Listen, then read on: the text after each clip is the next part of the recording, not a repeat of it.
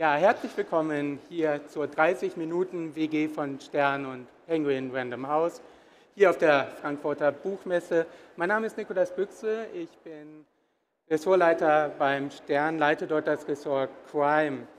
Ich freue mich auf meine beiden Kurzzeitmitbewohner hier auf der Buchmesse. Wir haben hier die beiden österreichischen Autoren Bernhard Eichinger und Jan Beck. Wir werden mal ausprobieren, ob wir zusammenpassen auf kurzem Raum in kurzer Zeit hier in unserer WG. Beide hier schreiben erfolgreiche und hervorragende Krimis. Von Jan Beck ist gerade Die Nacht erschienen, von Bernhard Eichinger Gegenlicht.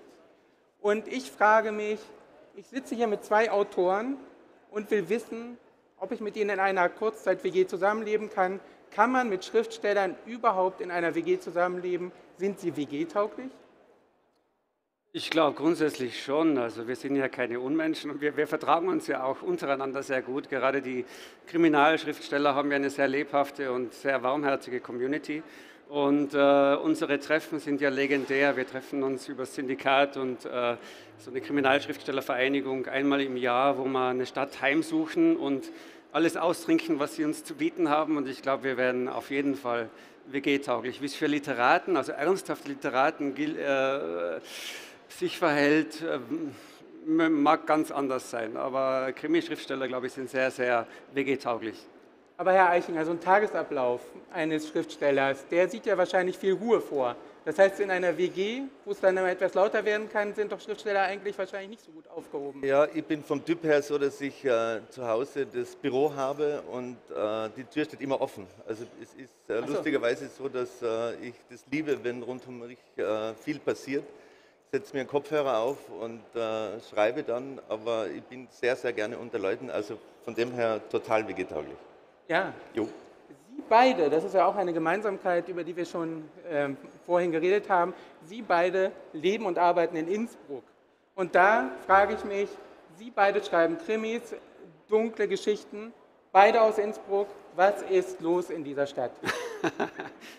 Also es heißt ja in den Ecken oder äh, ja, Städten, wo es sehr, sehr wenig passiert, was äh, Verbrechen betrifft, da ist die Sehnsucht nach dem Verbrechen, nach Geschichten über das Verbrechen besonders groß.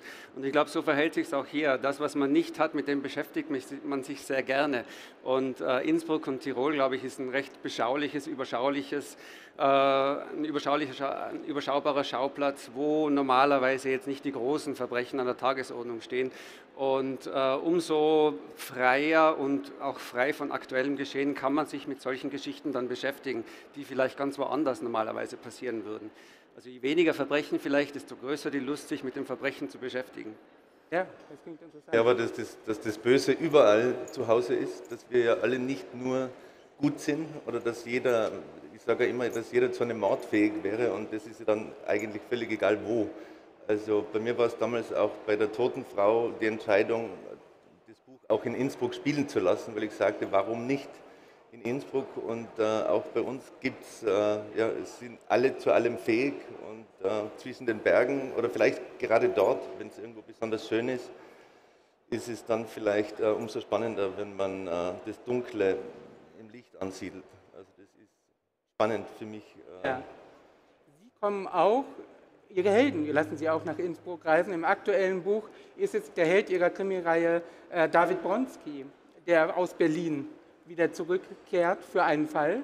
Ähm, könnten Sie mir David Bronski ein bisschen erklären, wäre der WG-tauglich?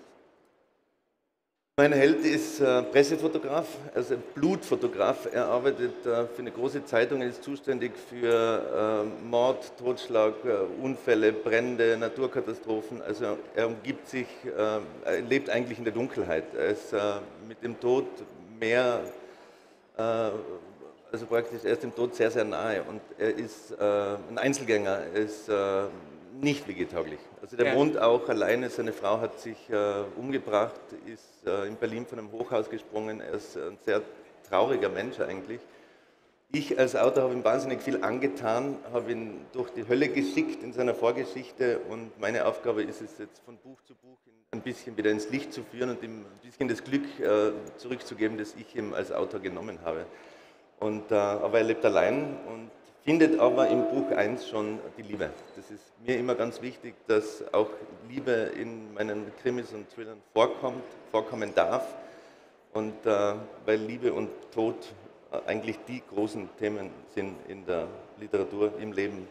Und deshalb äh, findet er auch das Glück. Bei Ihnen die Idee für diese Figur, für diese tragische oder auch manchmal tragikomische Figur entstanden? Äh, ich bin ja selbst auch Fotograf, habe 25 Jahre als Fotograf gearbeitet und äh, war von 1996 bis 2001 für eine große österreichische Tageszeitung als Pressefotograf unterwegs, 60, äh, 70 Stunden in der Woche, Adrenalinrausch eigentlich, immer auf der, auf der Jagd nach dem besten Bild. Und diesen Beruf wollte ich irgendwann einem meiner Helden auf den Leib schreiben und das habe ich jetzt getan. Also er hat zwar im Ressort Polizeifotografie seine Heimat gefunden, was ich damals nicht dauerhaft machen wollte. Also ich war zuständig für also schon Chronik, aber auch Sportkultur und so weiter. Also äh, gute Mischung. Aber es hat eben Leute damals gegeben, die wirklich nur diese Blutfotografen, die nur das gemacht haben. Und äh, ich habe mir damals immer gedacht, wenn man zum Beispiel dann äh, nach einem Mordfall, nach einem Mordalarm bei den Angehörigen des Opfers zu Hause sitzt und die bitten muss, damals musste ich die Leute bitten, irgendwie gibt es nicht ein Foto von dem ermordeten Kind. Und das waren schon äh, schreckliche Gefühle damals, also für mich. Und äh, es war klar, das möchte ich nicht mein ganzes Leben lang machen. Aber meinen Helden äh, lasse ich das tun, seit über 20 Jahren. Und das macht natürlich was mit einem Menschen. Wir haben gehört, nicht WG-getauglich ist David Bronski. Bei Ihnen, Herr Beck, bin ich mir ja auch nicht so sicher. Sie haben in Ihrer Reihe haben Sie ähm, da Leiden und Rätseln wir mit zwei Protagonisten, zwei Helden mhm. äh, sozusagen, also der Europol-Ermittlerin Inga Björk und dann den ehemaligen Ermittler äh, Christian Brandt. Ähm, ich habe nicht das Gefühl, dass die WG-tauglich sind. Können Sie sich uns ein bisschen über die Figuren erzählen? Also Inga Björk würde ich äh, nicht unbedingt als WG-tauglich beschreiben. Äh, sie hat eine sehr illustre Vorgeschichte. Sie war lange Zeit Tattoo-Model, äh, auch in London, eine gebürtige Schwedin. Und sie hat so eine spezielle Fähigkeit, sie kann sich Gesichter merken und das nennt sich Super Recognizer, die auch zur Auswertung von Kamerabildern dann verwendet werden und das besser machen, als jeder Computer das könnte. Sie hat eine sehr illustre Vorgeschichte, ist auch schon zehn Jahre älter als Christian Brandt und sie ist so diese nordisch-kühle Frau mit viel Lebenserfahrung und vielleicht auch gewissen Frustrationen in ihrem Leben, die sie zu einem äh, verschlossenen Wesen machen. Äh, insofern wahrscheinlich nur sehr, sehr bedingt WG-tauglich, wenn überhaupt. Und Christian Brandt ist grundsätzlich auch kein Teamplayer. Christian Brandt ist Ex-Spezialeinheitsbeamter. Der hat gearbeitet in der österreichischen äh, Cobra, nennt sich das bei uns, eure oder deutsche GSG 9. Und ähm, der hat sehr oft übers Ziel hinausgeschossen, wenn man so will. Der hat eigenmächtig gehandelt, wenn er gesehen hat, eine Situation ist zu klären, indem ich jetzt handle, dann mache ich das einfach. Und äh, insofern handelt er sehr oft eigenimpulsiv aus sich heraus, aus seinem Gutdünken heraus, was ihn schließlich auch aus der Cobra rausfallen lässt. Und äh, insofern, vielleicht ist er ein guter Kumpel, also er ist, glaube ich, so, schon ein umgänglicher Mensch, so. Ja. Aber wehe, wenn ihm quasi was nicht äh, oder gegen den Strich gehen würde, dann wird es wahrscheinlich anders aussehen. Insofern, man kann alle Leute, glaube ich, zusammenfärchen, aber man muss es nicht unbedingt tun. Ja, also die drei Protagonisten, von denen wir geredet haben, wäre auch ein Kriminalfall wahrscheinlich, wenn die eine WG machen würden, oder? Ja. Möglicherweise. Wie sind Sie auf diese Figuren gekommen? Was hat Sie fasziniert an äh, zwei Protagonisten und an diesem Spiel mit den Unterschieden? Also mein Herangehen war, ich wollte dieses äh, Fight Fire with Fire. Ja. Also so quasi ein ganz kranke Taten, die wirklich brutal auch sind und blutig, von einem Team bekämpfen zu lassen, das für sich genommen lebensfähig und äh, nicht einzusperren ist sozusagen. Also die, die können ihr Leben äh, leben und äh, haben ihre Stärken und Schwächen. Äh, zusammen sind sie dann dieses Feuer, das das andere Feuer bekämpfen kann. Er als der Mann fürs Grobe, fürs Schnelle und äh, sie als die analytische, die Frau, die einfach einen Blick für die äh, Details hat, die auch das Ermittlerische, die Gabe hat und, und ihn quasi heranführen kann an diese Situationen, wo dann der Fall zu klären ist. Und ich glaube, gerade dieses Zusammenwirken zwischen zwei Personen, die zusammen zu diesem Feuer werden, war für mich das Spannende. Ja, Sie sind auch sehr weit gegangen für diese Krimi-Reihe. Sie haben einen Mord begangen, und zwar den Mord an Ihren eigenen Namen, ja. um diese Reihe zu schreiben. Sie schreiben unter Pseudonym. Warum? Genau, ich heiße eigentlich äh, Johann Fischler. Mein Pseudonym, mein erstes war Joe Fischler, mit dem habe ich äh, auch Alpenkrimis geschrieben. Und für mich war dann äh, schon länger klar, ich wollte auch mal einen Thriller schreiben. Und äh, wenn ich das mache, dann macht es auch Sinn, so einen gewissen Neustart zu wagen, weil äh, die Alpenkrimis auch oder meine bisherige, mein bisheriger Name mit einer gewissen Erwartungshaltung verbunden war. Also die Leute wollten äh, oder ich wollte den Leuten nicht zumuten, die meine humorvollen Sachen kennen, dass sie jetzt plötzlich ein ganz blutiges Buch bekommen. Und äh, das hat auch für alle Beteiligten den meisten Sinn ergeben, gedanklich einfach neu zu starten, ein schönes Pseudonym sich zu suchen, das sich zusammensetzt aus Johann alias Jan, wenn man so will, wenn man es ultimativ verkürzt ja. und, und dem Nachnamen Beck. Und das hat mir eigentlich von Beginn an super gefallen und, und dem Verlag auch. Und dann war klar, dass wir es so machen wollen. Und es hat sich auch als gut herausgestellt, weil ich auch beim Schreiben frei von Erwartungshaltungen in eine neue Rolle mich hineinbegeben kann und sagen kann, okay, jetzt mache ich Thriller. Und äh, hat mir zumindest am Anfang sehr geholfen, auch äh, dieses neue Kapitel aufzuschlagen. Das hat durchaus dann auch eine etwas tiefere psychologische Sache für Sie ja, vielleicht, vielleicht begründe ich es auch zu ausführlich jetzt. Vielleicht, vielleicht auch. Klingt jedenfalls gut. Herr Eichinger, Ihre äh, David Bronski-Reihe, die sticht heraus durch Ihre Sprache. Es ist sehr karg, lakonisch. Manchmal begegnen wir dahin, wie dahingeworfenen Sätzen. Und dadurch erzeugen Sie eine ganz eigene Stimmung, die man sofort ausmachen kann und erkennen kann kamen Sie zu dieser Sprache? Und lag das wirklich an Ihrem Aufwachsen in einem engen Tal, wie ich einmal gelesen habe?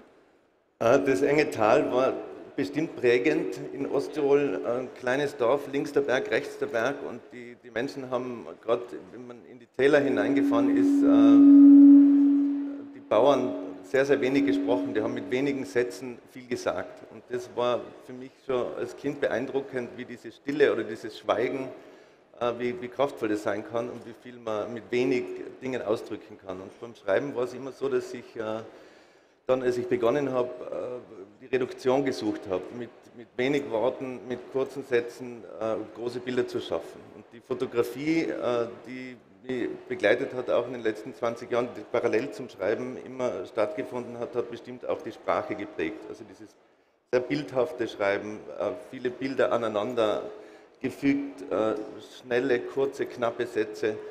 Äh, ich wollte immer Bücher schreiben, die wie ein Film sind. Also man beginnt, man schaut da rein, man beginnt zu lesen und man ist in dieser Bilderwelt und wird getragen davon. Und äh, dieser Ton, ich wollte immer so ein bisschen meinen eigenen Ton finden und äh, so ein bisschen einen Sound. Ich habe beim Schreiben auch, äh, ich höre das dann immer und den Rhythmus und was, was mir große Freude macht, äh, das zu entwickeln. Und äh, auf der anderen Seite eben die Prosa und auf der anderen Seite diese Dialoge. Also ich liebe es, Dialoge zu schreiben und das halbe Buch ist auch äh, in Dialogform geschrieben. Es ist immer alternierend ein Prosa-Kapitel und dann ein Dialogkapitel, in dem zwei Menschen sprechen. Ich komme dann auch ohne Erzähler aus. Also es ist dann nicht so, dass es heißt, sagte er, sagte sie, kratzte sich am Öhrchen und dachte an, ja. sondern Ping-Pong und da wird äh, der Leser, die Leserin wirklich hineingezogen in diese Szene. Man sitzt mit den Leuten am Tisch und das macht auch äh, Tempo. Und äh, Tempo ist mir sehr, sehr wichtig dass es äh, einen Speed hat. Ich sage immer, ich möchte gerne meine Leserinnen auf ein Pferd setzen und ich klopfe dem Pferd dann am Arsch. Ja. Und das Pferd reitet mit dir durch das Buch und du kannst nicht absteigen, bis äh, die letzte Seite gelesen ist. Also das wäre der Plan. Ja. Um bei diesem Bild zu bleiben vom Pferd, bei Ihnen könnte man sagen, sitzt man oft auf vielen Pferden. Mhm. Sie arbeiten sehr stark mit Perspektivwechsel. Mhm. Schnellen Perspektivwechsel, und das ist das Kennzeichen Ihrer Bücher. Das äh, finde ich sehr bewundernswert auch, dass Sie es schaffen, immer wieder eine andere Sprache äh, mhm. zu schaffen, die, Sie, die natürlich auch den Protagonisten dann widerspiegelt. Ja. Wie gehen Sie dabei vor? Für mich war es schon eine Herausforderung natürlich vom Alpenkrimi und vom Krimi, äh, also ich habe so eine Reihe, die ähm, den Arno Bussi-Krimi, der sehr stark österreichisch sprachlich zentriert ist. Äh, das war schon für mich ein großer Sprung, dann von diesem äh, sprachlich äh, gewichteten Buch zu einer standarddeutschen Friedlersprache zu kommen. Also, also quasi da diese, und, und war für mich aber auch eine große Herausforderung und auch eine sportliche Herausforderung, wenn man so will, äh, in beiden äh, Genres oder Teilbereichen authentisch rüberzukommen. Sowohl als österreichischer, humorvoller Krimi-Autor, der auch mal eine österreichische Sprache verwendet, als auch als äh, Autor von europäischen Thrillern, die eine gewisse, natürlich eine, einen größtmöglichen räumlichen Umkreis ziehen. Und in diesem habe ich nochmal versucht, eben mit diesen Perspektiven die Welt durch möglichst oder diese Fälle durch möglichst viele Augen betrachten zu lassen. Und äh, da ist es natürlich klar, wenn ich eine Pers einen personalen Erzähler bei diesen Perspektiven auch verwende, dass ich nicht einen Siebenjährigen gleichreden lassen kann wie einen 50-Jährigen und äh, eine Täterin, die total psychologisch oder die, die, die, die totale Psychopathin ist, gleichreden lassen kann wie einen Ermittler oder wie jemanden, der eigentlich eine, eine positive Rolle spielen soll. Und genau darin liegt auch für mich der Reiz, einfach immer wieder diese neue Perspektive einzunehmen, die Welt durch neue Augen zu betrachten. Und äh, wenn das gelingt und, und das auch innerhalb dieses Buches dann authentisch rüberkommt, ist für mich eigentlich die Arbeit äh, gut zu Ende gegangen und mh, die Bestätigung des Weges. Und mir macht es irrsinnig Spaß einfach, ja. möglichst viele Perspektiven einzunehmen, ohne zu verwirren und die Perspektiven am Ende dann so zu verweben, dass es ein sinnvolles Ganzes ergibt. Ja, ich glaube, ich, ich, ich traue mich das jetzt mal als Deutscher zwei Österreicher zu fragen. In ihren Krimis meine ich zu erkennen, auch so ein bisschen immer diese österreichische Seele, so ein bisschen Schwermut, so ein bisschen Melancholie. Ähm, deute ich da was rein oder äh, kann man sagen, dass da auch etwas Österreichisches in diesen Krimis ist? Ah, nein. Nein. Also natürlich, ich bin, ich bin Österreicher, und, äh, aber ich bin ein deutschsprachiger Autor und ich glaube, alles, was da passiert, deswegen spielt er auch in Berlin und in, und in Tirol, aber das, äh, ich glaube, dieses, was man den Österreichern nachsagt, ja. oder speziell den Wienern, dass ja. sie äh, diesen, äh, diesen schwarzen, schwarze Seele haben und schwarzen Humor haben, ich glaube, äh, das, ist, äh, das ist, man sagt es ihnen nach, den Österreichern, dass sie das da reinpacken, aber ich glaube nicht. Ja. Das, es, muss so, es muss funktionieren, es muss für alle funktionieren, für alle Leserinnen, egal ob sie jetzt aus der Schweiz sind oder in, in Gelsenkirchen leben, dass man, dass man eintaucht. Ich glaube, wichtig ist es, dass man, dass man die Figuren spürt, dass man, oder mir ist es sehr wichtig, dass es sehr emotional ist, dass man äh, ja, vielleicht dass man einfach mit den Figuren mitgeht, dass man sie mag, dass man sie gern begleitet und äh, wo sie herkommen oder welchen Hintergrund, ich glaube, äh, müssen spürbar sein. Ja. Also würde ich, mich, würde ich mich anschließen. Ja. Also ich glaube, es, es, bringt jetzt nichts da irgendwie als Österreicher mit einer österreichischen, äh, äh mit irgendeinem Schwermut oder irgendwie dann auf diesen äh, Markt zuzugehen oder, oder auf die Leserinnen und Leser zuzugehen. Ähm, ich für mich kann jetzt sagen, ich kann meinen Humor natürlich nicht komplett begraben und sagen, nur weil ich jetzt Thriller schreibe, kommt nie mehr was Humorvolles in diesen Büchern vor. Und ich glaube, zwischen den Zeilen und in dem Verhalten zum Beispiel von Christian Brandt findet man schon auch österreichisch humorvoll ist. Er kommt schließlich auch aus Österreich. Also in dieser Perspektive lasse ich auch das Österreichische zu. Aber wenn ich jetzt äh, eine Figur kreiere, die äh, ihre Wurzeln hier in Hamburg, äh, in Frankfurt ja. oder sonst wo hat, ja. oder eben Inga Björk, die aus Schweden kommt, dann ja. muss sie auch in ihre Rolle passen. Alles andere wäre ja komplett verkehrt. Ja. Warum erzählen Sie eigentlich Krimis? Also was wollen Sie erzählen? Krimis erzählen natürlich uns immer den Kampf von Gut gegen Böse. Sie sind natürlich Vehikel, aber auch für andere Geschichten, die man erzählen will. Wie sind Sie auf dieses Genre gekommen? Also bei mir war es so, dass ich, äh, bevor ich 2010 begonnen habe, Krimis zu schreiben, vier Nicht-Krimis geschrieben habe, aber Spannung war mir immer schon wichtig. Also es, es wurde auch schon gestorben da drin und es war schon äh, mir immer wichtig, dass ich fesseln möchte mit dem, was ich erzähle. Und Krimi ist, äh, hat sich ihm dann angeboten, weil ich selber leidenschaftlicher Krimileser immer war, mit elf, glaube ich, alle Agatha Christie-Krimis gelesen hatte und mir damals schon gedacht habe, spannend. Also Spannung ist was, was äh, mich eigentlich äh, antreibt, seit, seit ich klein bin. Und äh, auf den Zug aufzuspringen war, war ein großes Vergnügen und ist es nach wie vor eben äh, gut unterhalten zu wollen. Also das ist mein Ziel, dass ich Leserinnen und Leser, äh, ich möchte gern unterhalten. Und das äh, fesseln und packen. Und äh, wenn das gelingt, dass jemand äh, beginnt zu lesen, die ganze Nacht durchliest und mir um 5 Uhr morgens ein E-Mail schreibt, äh, ich konnte nicht schlafen, dann denke ich immer, yeah. Also ja. bitte mehr, mehr ja. davon, mehr solcher E-Mails. Okay, okay, die Leute um den Schlaf bringen ist Genau. Jetzt, bei Ihnen auch wahrscheinlich. Ist natürlich schön, wenn man solche Komplimente bekommt. Ja. Oder äh, eines der schönsten Komplimente, das ich mal bekommen habe, ist, ach, ich habe dann gesehen, dass das Buch langsam zu Ende ging und ich habe dann extra langsamer weitergelesen, damit ich noch länger was davon habe. Ja. Das ist eigentlich das Schönste, was man Schriftsteller sagen kann. Ja. Äh, wobei das ja das Schlimmste wäre, also äh, man kann auch äh, das, den Spieß umkehren oder, oder es, es, gibt zum Beispiel die Aussage auch bei, bei den Regionalkrimis, äh, ach, da, da weiß ich immer genau, wo es spielt sollte man eigentlich einem Schriftsteller nicht sagen, weil das kann jeder machen. Jeder kann Straßenschilder abmalen und so weiter. Äh, warum Krimi? Ich habe auch gerne Krimis gelesen, immer schon. Für mich war ein Buch ist gleich Krimi früher als, als, als Leser. Und äh, ich finde es auch ein sehr dankbares Format. Es gibt eine gewisse Struktur vor, es passiert was. Das, das, Böse muss bekämpft werden und getilgt werden von der Welt und, und das Gute muss oder soll in meinen Büchern jetzt zumindest einmal obsiegen. Äh, ich finde es sehr spannend, mich in einem gewissen Rahmen bewegen zu können und ja. mich dort voll auszutoben aber immer diese Leitlinien zu haben, innerhalb derer ich bleiben muss. Das, das finde ich persönlich für mich als Person, als, als, als, als Mensch einfach äh, eine große Herausforderung. Äh, möchte aber, und ich bewundere jeden, der literarisch schreibt, der Geschichten erzählt, die frei von Verbrechen, von, von, von Dingen sind, an denen man sich vielleicht auch in gewisser Weise festhält. Äh, und ich, ich, ich sehe das als Anspruch, wenn mir die entsprechende Idee kommt, auch mal wirklich was Literarisches zu schreiben, wann aber die Muse mich küsst und, und, wie das dann ausgeht und was es für eine Herausforderung bedeutet, ob ich das überhaupt schaffe, sei dahingestellt, aber ist auf jeden Fall was, was ich unbedingt mal machen möchte auch. Möchten weniger morden? Nee, also das würde ich nicht sagen. Wenn, wenn ja. das Morden gut läuft, dann sollte man beim Morden bleiben, glaube ich. Also, äh, ja. dann sollte man nicht vom Pferd absteigen. Aber äh, ich würde es schon spannend finden, auch mal ein Buch ohne Mord zu schreiben, weil es ja auch mit, jedes Buch hat mit Spannung zu tun. Auch ein Liebesroman hat sehr viel mit Spannung zu tun. Und äh, ich glaube, man muss nicht immer Leute umbringen, man kann sie auch mal anders präsentieren. Aber man braucht die Geschichte, die man erzählen will und eine Botschaft natürlich. Und äh, ich sehe das schon als Herausforderung, auch mal sowas zu machen. Ja sind ja oder hätten fast einen ganz anderen Weg eingeschlagen. Waren Ihre Eltern am Anfang sehr enttäuscht, dass Sie nicht Jurist geworden sind?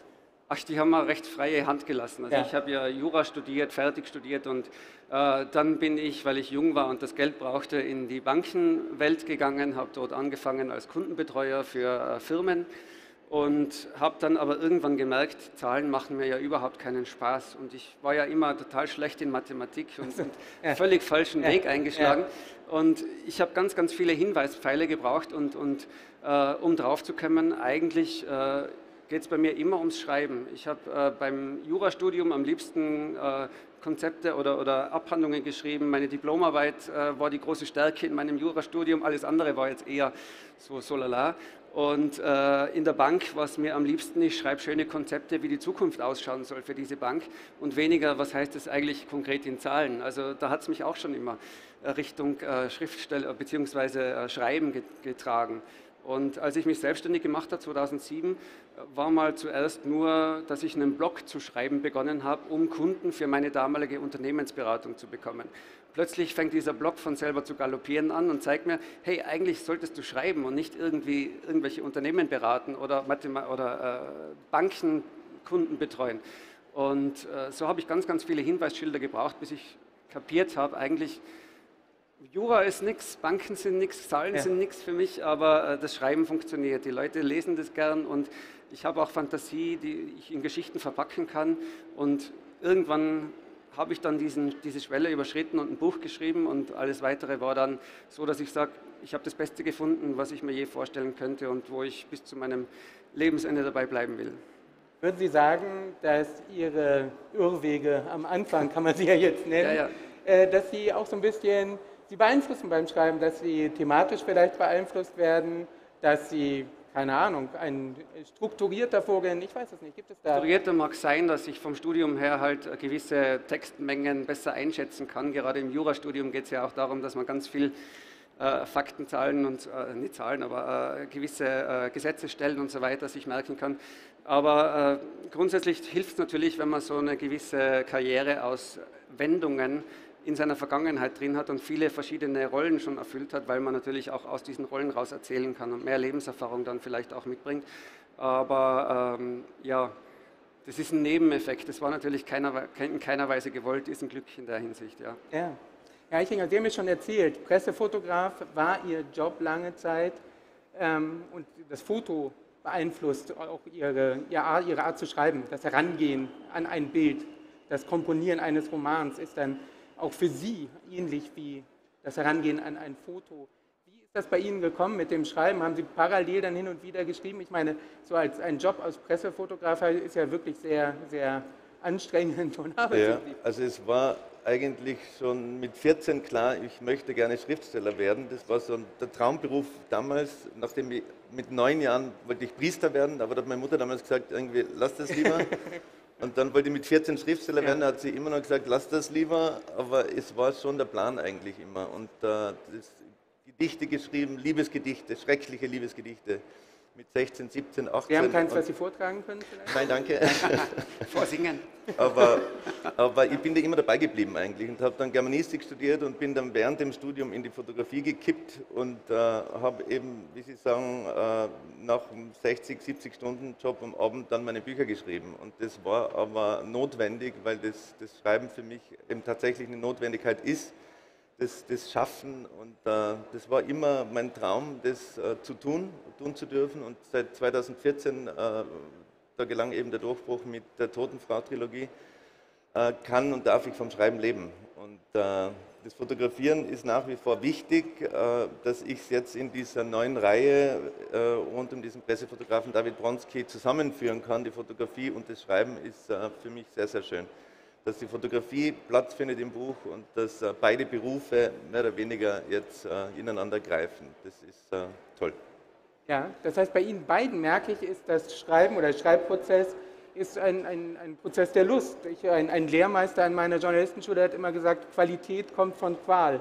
Mhm. So, und, und, Schreiben kann, wissen Sie natürlich auch, kann ja. eine enorme Qual sein. Das war ein alter Mann wahrscheinlich, oder? Ja. Ein alter weißer Mann, der ja. sowas sagt. Ich glaube, es muss schon, oder es ist ein Glücksfall, wenn's, äh, wenn man die Leidenschaft, die man, die man, wenn eine Leidenschaft trägt, oder? Wenn man, wenn man was macht mit, mit dem ganzen Herzblut, das man hat und wenn man alles da reinlegt und wenn das dann eine Freude macht, dann äh, glaube ich, kommt am Ende was, was Besseres dabei raus. Ich glaube, Qual ist, äh, ist schrecklich. Also, außer in den Krimis, wenn, äh, wenn wir dann äh, ja. Leute quälen. Aber ansonsten ist es, glaube ich, nicht, nicht gut. Also ich finde auch Schreiben, das habe ich jetzt gerade auch mal, äh, Bernhard hat es auch mal gesagt, äh, Schreiben ist wie eine Therapie teilweise auch. Also für einen selber, äh, mir bringt das irrsinnig viel Energie, ich kann viel, viel reinstecken, viel aufarbeiten auch. Ich merke jeden Tag, wenn ich geschrieben habe, ein paar Stunden, mir geht es danach besser. Ich bin danach ein ausgeglichenerer, zufriedenerer Mensch. Und äh, ich glaube, ohne Schreiben wird es auch anders ausschauen in meinem Leben. Also äh, ich brauche das unbedingt. Und, und, egal, was mich ärgert den ganzen Tag über und was so an, an Wirren irgendwie im, in unseren Zeiten in der Welt ist, äh, Schreiben befreit mich und gleicht mich kom komplett aus und, und, macht Riesenspaß. Wobei es natürlich äh, mühsam sein kann, wenn man die, die fünfte Überarbeitung eines Romans vor der Abgabe, wenn man dann durch ist, man fängt zum sechsten Mal dann wieder von vorn an also es ist schon, man muss sehr diszipliniert sein und es gibt Tage, an denen man vielleicht weniger Lust hat, aber das ist in jedem Beruf so, denke ich mir, dass es äh, leichte Tage gibt und schwere Tage gibt. Aber da muss man durch, es gibt eine Abgabe und die sollte man einhalten und äh, da ist diszipliniertes Arbeiten sehr, sehr wichtig. Und äh, auch das Durchhaltevermögen und auch wenn man, ja, dass man mal durchpeist und dass man, wenn einmal die Ideen vielleicht nicht so laut sind im Kopf, dass man, dass man irgendwie suchen geht und dass man sitzen bleibt. Und das ist schon äh, manchmal sehr, sehr, kostet viel Kraft, aber am Ende ist es äh, beglückend. Ja, aber da habe ich mich bei Ihnen auch gerade gefragt. Ähm, Sie liegen gerade in Ihrer Reihe. Der, der, erste Band ist Anfang des Jahres erschienen, jetzt der zweite ja. Band. Der dritte erscheint wann? Am 22. März ist äh, jetzt, 22. März ist, ist Deadline, jetzt gerade fertig. Nein, ist schon, ist schon. Ja. Äh, das heißt, die Deadline Lektorin. haben Sie schon eingehalten. Ja, ja, ja. So, das heißt, Sie sind, was ist mit Ihnen los? Sie steigen ja am Laufen. Ja, das heißt, Ihre Leser müssen gerade nicht langsamer lesen. Nee, also es ist im Moment sehr schön, dass es so Schlag auf Schlag geht und äh, möglich gemacht hat äh, Corona, weil äh, ich normalerweise 40, 50, 60 Lesungen im Jahr habe, viel unterwegs bin und eben in den letzten eineinhalb Jahren sehr, sehr viel zu Hause am Schreibtisch saß und äh, die Möglichkeit wirklich genutzt habe und äh, mehr geschrieben habe als jemals zuvor. Und eben zwei Bücher in diesem Jahr und äh, bin da völlig reingekippt. Und äh, das Schöne ist ja an einer Reihe, dass man die Figuren äh, nicht gleich wieder gehen lassen muss nach ja. einem Jahr. Also am Standalone, da verbringt man ein Jahr mit den Figuren und am Ende ist es manchmal, geht dir vielleicht auch so, dass man dann traurig ist, dass, äh, dass man die Figuren gehen lassen muss, aber bei einer Reihe, die bleiben. Und das ist für die Leserinnen und Leser vielleicht auch schön, denen immer wieder neu begegnen zu können, aber für mich als Autor eben auch toll, die, die Figuren gibt es, das Setting gibt es, bestimmte Dinge sind einfach da und dann kann man praktisch von einem Buch ins andere kippen beim Schreiben. Einen neuen Fall, also ein neue, ein neues Verbrechen und äh, ja, das ist. Äh ja, das heißt, Sie können Ihren David Bronski auch nicht so richtig loslassen. Nee, nee, nee, der bleibt ja. mir jetzt erhalten. Ja, und so geht es bei Ihnen natürlich auch. Ne? Ihre Protagonisten genau. sind Ihnen wahrscheinlich auch ans Herz gewachsen. Ja, ähm, am Anfang nicht so, aber es geht immer so, mehr. Ja, so, ja, ja, Sie sind ja ein sehr sperriges Pärchen, wenn man so will. Und Sie öffnen sich im ersten Fall das Spiel ja überhaupt noch nicht, weil Sie ganz zufällig zusammengewürfelt werden und in so einen Fall reingehen, der, der schon rauscht und wo Sie eigentlich schauen müssen, wo Sie bleiben und am Leben bleiben. Und äh, äh, diesen Fall lösen. Und sie kommen gar nicht dazu, großartig sich persönliche Verbindungen aufzubauen. Das ist im zweiten Fall dann schon ein bisschen besser, aber es geht sehr, sehr zögerlich voran bei denen. Natürlich auch in gewisser Weise absichtlich, damit ich im Band 5 und 6 dann auch noch was zu erzählen habe. Aber äh, ich hoffe, dass da die Ideen in dieser Hinsicht auch weiterhin bleiben. Ich bin am dritten dran, der soll nächstes Jahr erscheinen. Ja, ja. Genau, und äh, es ist natürlich schon geplant, dass da auch mehrere Teile dann kommen und immer wieder ein spannender Fall halt mit im Zentrum steht und diese zwei Protagonisten rundherum kreisen und und sich dabei auch immer besser kennenlernen. Und genau das ist auch das Spannende, die Leute dann jahrelang, wie du gesagt hast, einfach zu begleiten, wiederzutreffen und zu sehen, wie sie sich entwickelt haben, weil sie ja. ein gewisses Eigenleben ja auch bekommen im Laufe der Jahre. Ja, wie gehen Sie dann vor, wenn Sie die Weiterentwicklung planen? Oder ist das Planung oder ist das dann Eingebung? Ähm, wissen Sie schon, was äh, danach in Folge 4 passieren könnte mit ich glaube, das Spannende ist, wenn man äh, so eine Serie hat, dass man die Zeit mal laufen lassen kann, dass man sehen kann, was passiert in der Welt. Ja. Was sind die großen Veränderungen, die, die Dinge, die mich persönlich auch beschäftigen, die ich transportieren will.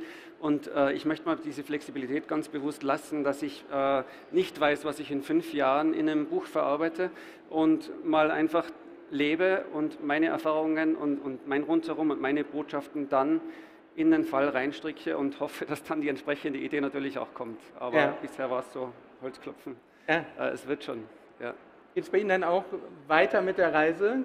Auf alle Fälle, also ja. wie, wie, wie äh, Jan Beck Joe sagt, äh, die Entwicklung der Figur natürlich auch. Sind die, die, die, Liebe, die er gefunden hat, die Beziehung, in die er hineingegangen ist, hält sie? Ja. Äh, was ist mit, also wie, wie entwickelt sich das weiter? Und das ist schon sehr spannend, mit denen auch äh, mit zu altern was ich sehr schön finde, dass die nicht jetzt sieben Jahre lang gleich alt sind, wie es ja in manchen Reihen äh, passiert, aber eben da mitzualtern und äh, mitzuwachsen, sich mitzuentwickeln, mitzureifen, das ist, äh, ist spannend. Was in fünf Jahren ist, keine Ahnung, das ist so, wie das Leben halt so ist. Man weiß es nicht, was kommt. Ja, ja. Eine letzte Frage. Sie beide in Innsbruck, Sie tauschen sich hin und wieder doch auch aus. Ne? Wie, wie, wie ist das so von Krimi-Autor zu Krimi-Autor? Wir treffen uns natürlich bei diversen Gelegenheiten. Wir sehen uns meistens ein paar Mal im Jahr. Wahrscheinlich eher noch überregional, wenn wir mal wieder diese Kriminale haben zum Beispiel oder so wie hier an der Buchmesse. Ähm, und äh, natürlich haben wir Themen, äh, die uns beschäftigen. Es gibt einfach ein paar Themen, die immer wieder vorkommen in einem Schriftstellerleben. Und ich bin sehr froh, dass ich mit dem Bernhard jemanden habe, der da schon äh, dementsprechende Erfahrungen und Erfolge gefeiert hat und äh, wo ich dann auch immer dankbar bin um jeden Tipp, den ich von ihm bekomme. Ich sehe ihn immer auf Facebook, wie er mit seinen äh, Wanderstöcken durch den Wald rennt und ich denke mir, ach, der ist da hinten oben jetzt. Ja, ja. So. Winken uns zu.